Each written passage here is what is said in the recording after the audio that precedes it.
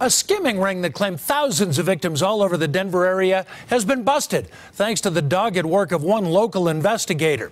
He put the pieces together along with officers in Boulder, Arapahoe, Douglas, Elbert, and Jefferson counties, and the Aurora and Parker police departments were also on the case. Twelve people have been indicted.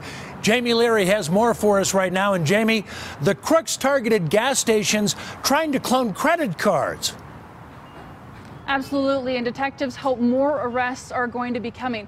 But for now, I want to show you something. We're at a Safeway gas station. All Safeway gas stations are upgraded with high-tech security. You see this green light? The moment that you tamper with this pump or any Safeway pumps, that light turns red and the entire pump shuts down. Now, you've probably noticed at most gas stations, they have that red tape right here. The investigators say that's just not cutting it. That's how a very organized crime ring targeted victims' bank accounts and credit cards.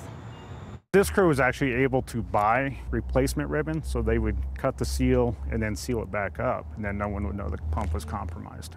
The suspects hit gas stations across America, skimming credit card information for more than 8,000 victims.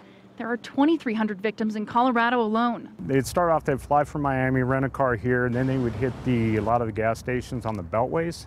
Detective Chris Fiegel has been with the Boulder County Sheriff's Office for 18 years. It's the biggest investigation I've worked.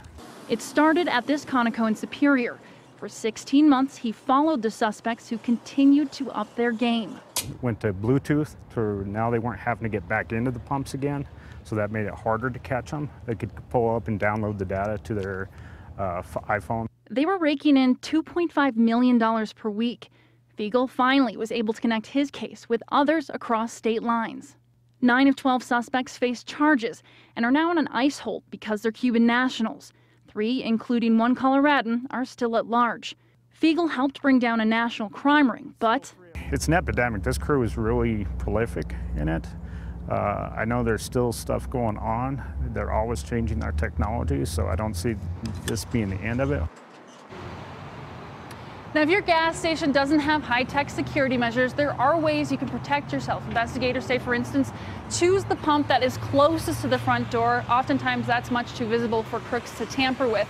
Also, you can always opt to take your credit card and pay inside at the cash register. Live in Aurora, Jamie Leary covering Colorado First.